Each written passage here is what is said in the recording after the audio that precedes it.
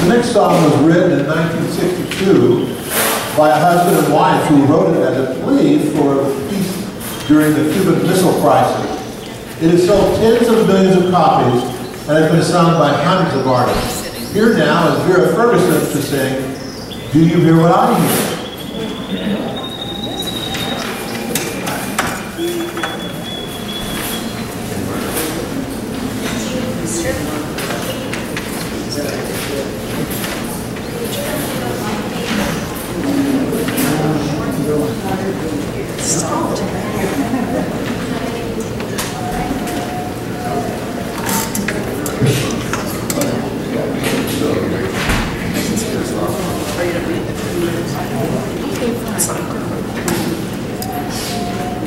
Thank you.